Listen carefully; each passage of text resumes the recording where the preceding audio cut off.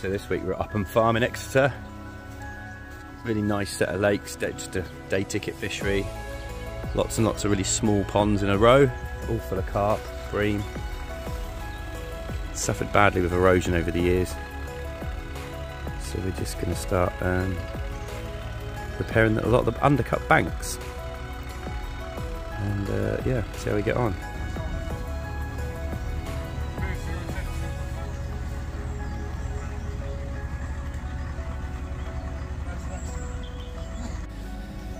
People do moan when we do this, but then a year later, when it looks great and the banks are stabilised again, this is all rubble along here where these divides. In the past, people have dumped rubble down here. So you're trying to move it out of the way. This is very weak, so whenever you put a digger bucket down, it just collapses. So you've obviously, health and safety wise, you've got to be careful. It's all red clay through here, so then rectifying it, putting it right like this, turning it over, looks a mess at the minute. People look at it and go, oh, you ruined it, you ruined it. But what you understand is, we then plant along here. Now there's no undercut there, that's a safe bank now. And the plants do the work for you. So then you plant into all this mulch and then they fill into the bank and then it's sound. The undercut's gone, no dry collapsing banks anymore. Plug in all the plants in there. We plant them hand width apart and just keep going. And then the trees that you leave behind, taking out any rubbish. So these little ones here can stay. I mean, that one is, is on, well, eventually that'll go in because it's difficult to, to plant in front of that but we're obviously leaving what we can in. That big one up there, that big bad boy up there weighs about a ton and a half. That was in the margins, that's out now, and then we'll plant in front of it. So whenever we're taking a tree out of the water, replacing it with something more suitable. So you're never destroying habitat, you're replacing habitat. Like this one here. You take this horrible thing out here because it's full of feeders and line. And then uh, replace it with plants. Like here, even when you stand close to the margin. If I, well, I'm not going to because it's very, very weak there. It's undercut by about a foot, roughly to where my foot is now. That's hollow under here. See, and again, juncus is why I don't like juncus because it just does that, sits in a clump. You just keep going, going, going, going. Round here, this is where the water for the whole fishery comes in off the fields, etc. So leave this bulrush in it. It's full of fish in here normally. Yeah, look. Just got to jump up there, look. You see him in there moving the reeds. But again, no need to, no, no one really fishes this pond. So again, just rectify the margin and sort it out. And that is what we're doing this week. So we get calls a lot of the time, especially this time of year, and people say, oh, the lake's not holding water, it's not, it's leaking, etc. And a lot of it is when you plant trees on dividing walls, um, which you should never do. And tree roots some people seem to think they bind the bank together, and I never agree with that. I think you plant a tree on a dividing wall, there's only one thing that's going to happen. It takes years, obviously. Um, so what I've had to do here, this underneath me is pretty hollow. It's a dividing wall between two pots. There was a big tree here which was not doing great anyway, it was leaning in the water, so that's gone. And then I've taken a load of clay from over here, enlarged this little area which would be great for plants, and act like a filter so the water's going through into the other pond. And then I've took all that, it's a right mess at the moment, took all that clay and shored this up. So this was hollow under here, it was literally undermined. And now it's, um, we can plant into that, you see. And I can nick a bit more later on. The trick now is to go along here, and that's all massively undercut for the tree roots. Obviously don't want to lose any good trees, but then we can come along here and plant into here. This is going to be thick. And plants are filters basically. They're soaking up phosphorus, soaking up nitrogen, which algae feeds on. So all these lakes that suffer serious algal blooms that they can't get rid of, plants are the way forward. Long term, plants are the way forward. They're doing a good job, those plants, and then obviously we thin these out and spread them around more. We've done that bank over there, look. and that whole bank where the boys have graded it. I took out a huge amount of crap over there. It was overhanging by nearly 15 foot it's only a foot deep under there. And all right, the anglers like it because they go, oh, the fish are under there, but it'll all grow back. And so instead of having something that where they're losing, and these are sort of just general day ticket anglers who are just losing half the fish they hook. So what actually that'll be just a complete fringe of nice green growth, which you can safely fish to. You can fish over it, round it, do what you like. It won't do any harm at all. So that's two lakes done. I've tidied up that corner, and then I've used the clay to chamfer up this this side here now it's just a bit more intricate in amongst these trees. So the boys have finished doing the other lake and then they are plucking bulrush out, which is encroaching quite a lot.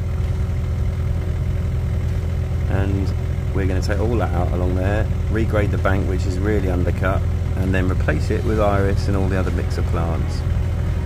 So yes, you're removing plants, but you're replacing them with more suitable plants. And that's what we like to do.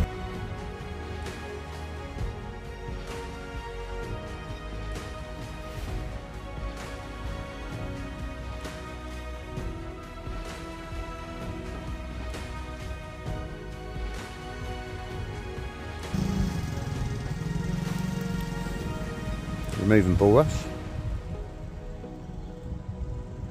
placing it with iris. This whole bank was unfishable really because of the bulrush.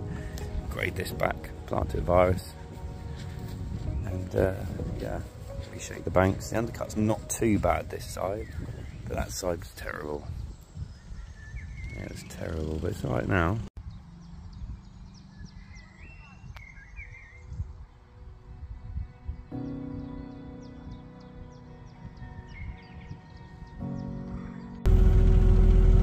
Go, oh, you got to mind the birds when you're doing all this work. You really disturb them. It's like, right, okay, well, they it's like the fish.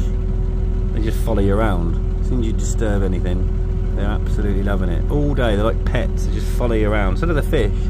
You imagine carp doing what these ducks are doing. It's exactly the same thing. It doesn't matter if you're snag removing, building swims. If you're just in the water turning it over this time of year, just creates movement and shifting stuff and the fish love it. And so do the ducks. Having a lovely day these guys. So it does look a bit extreme, some of the banks, but it had to be done. They were literally caving in, falling in. And if you just obviously do the work but leave it with no nothing, then it's just going to carry on. I've done a lot of these projects and if you keep the birds off, look after the plants, by the end of the summer, it'll look amazing. Everyone always moans when you're doing it, but they're just so delicate, these banks, that it all needed doing.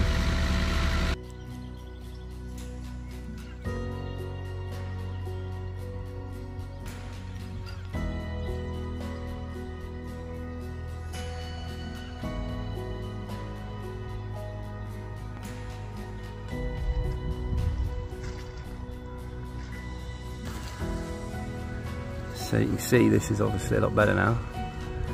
There's nothing along here, just collapsing, not safe. And eventually, you know, it keeps going back. These, these ponds were out here. So putting the right plants in, you do have to sacrifice a bit of bank sometimes, make a bit of a mess sometimes, you know, nature what it is. So the bank's curving around, so you just have to do what you can. But yeah, all good.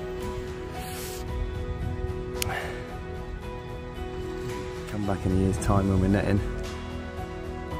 Well, we'll net in the winter, but this time next year it'll look amazing.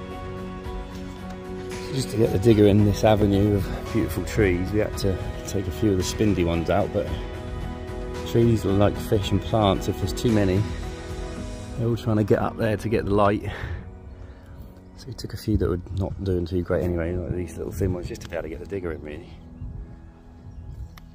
But uh, starting to take shape. Just needs time now. It needs a bit of respect from anglers, not to smash all the plants up.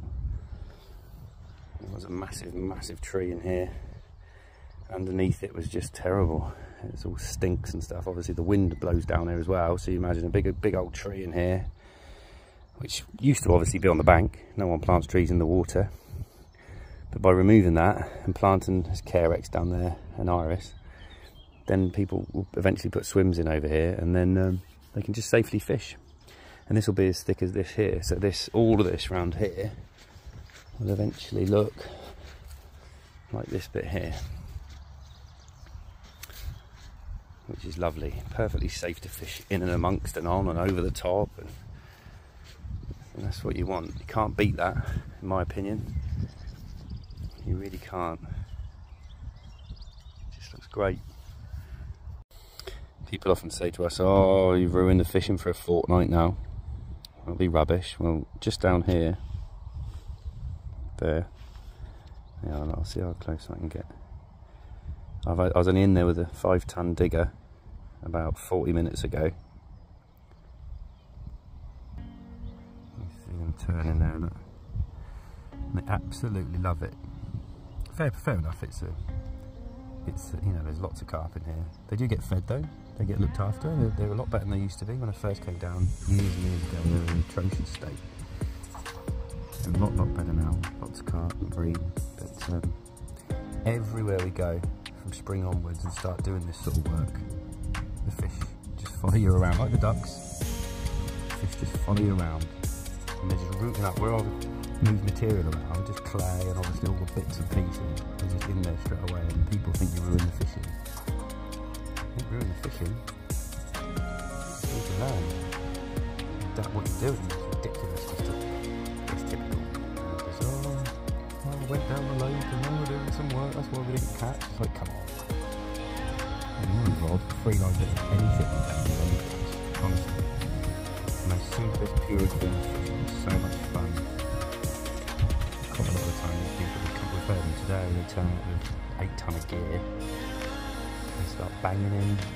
Yeah, look up there. Look. Again, I was in here not long ago at all with a five ton machine, turning the bank over, it's full of fish. It's like when we feed ponds, lakes, we chuck bucketfuls in. Oh, you don't want to do that, they won't eat that. They won't find that, you have to do it gently. It's like, kind of ridiculous. But you're always learning. Well, we're always learning about some of the people we meet along the way. You just got to get on, get it done. The fish are absolutely loving it, ripping all up in there. Just worth bearing in mind when you're around a fish with there's work being done. Don't write off your day. in fact, quite often it's, uh, it's pretty good. Warm now. Just broke out the suntan lotion. so tomorrow we're going to build a couple of platforms. Well, not platforms, but just swims into the bank. And today, we're just boys are finishing up planting that lake above.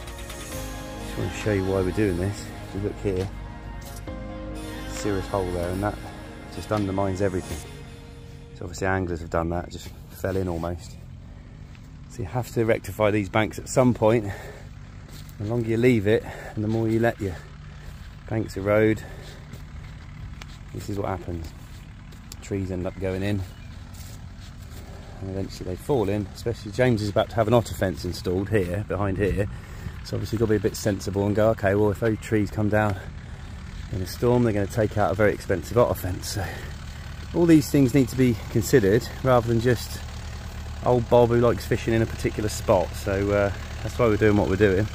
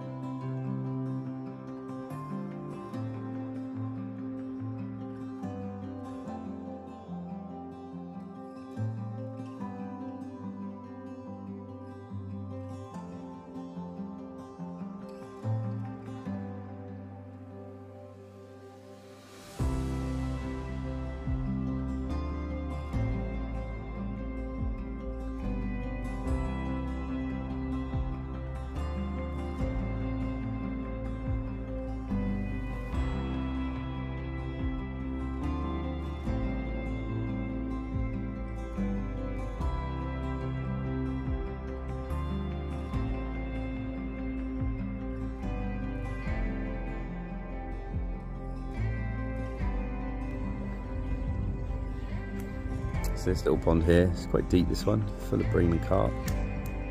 And we've made a lot of difference in this corner. You can see the water in this corner is completely overgrown. It's got let a huge amount of light. Number of reasons, you couldn't see anything in here. Now this is all fishable, all safe. The Bank's been regraded, undercuts all gone obviously. And uh, there was no grass growing on here because of the trees. So now the grass will be able to grow on there let more light on that bank. Boys are just de-rooting it after we took the trees out.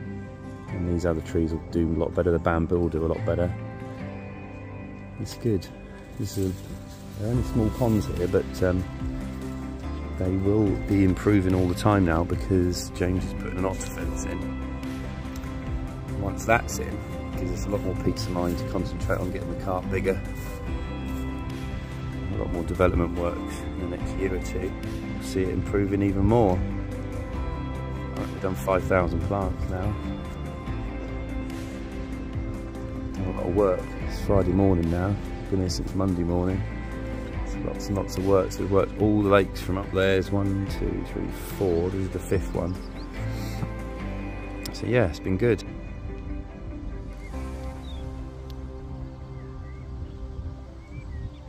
Spawning today.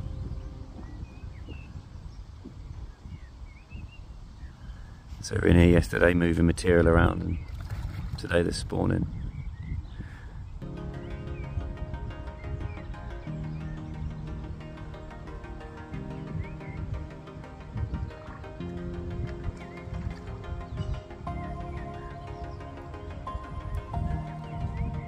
They're to smash the plants up.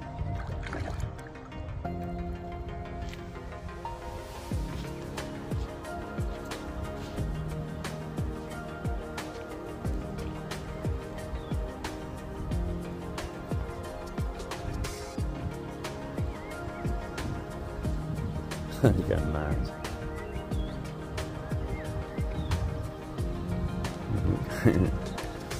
so once we've graded the bank out, it's important to get the roots out. A lot of people just bury them. You've got to get as many as you can out. Obviously to stop regrowth, but also they weaken the banks because nothing can really bind. So get them out, regrade it, and then plant like Dave's doing down there. And this can all a bit of topsoil on it. You can always plant a few nice wild flower seed or whatever you want in here. Makes it a lot safer for fishing. A lot more light on there, it's all good. I'm spawning like mad on here now. Typical. So I've done five over 5,000 plants. Fish are spawning now. Just a bit more raking to do, a bit more tidying up. Open up these lakes loads. They look a lot bigger, a lot better, a lot more healthy. Don't worry about upsetting a few anglers, they don't know what we're doing. But they'll all benefit. We're doing it for the benefit of the fish, which benefits the anglers. A lot of planting. Loads of fish in these lakes. But for the next week or two, obviously the fishing's going to be real patchy, simply because the fish are spawning, and they will be spawning. But yeah, it's going to come on leaps and bounds now. We've made a real big dent in all the the banks are safe now on all the lakes. We haven't done the specimen lake. James is going to build swims. We're going to build a couple of platforms. Well, a couple of swims with sleepers now. And then we're going to go home. It's been a good week. We've got a hell of a lot done. Always helps when you've got a decent digger. Been well looked after by Kristen. Uh, sorry, James and Jane. And uh, it's been rather pleasant. Weather's been kind to us as well, so it's been very, very good we'll come back in the winter for our annual netting. And things will just keep improving, especially with the otter fence. That's, that's something that has to be done. They go mad in these reeds now. so yeah, it's a week done at Upham Farm. And go home, have a bit of a rest, and then five o'clock Monday morning, we're over in Essex. Doing similar sort of work for next week. All good.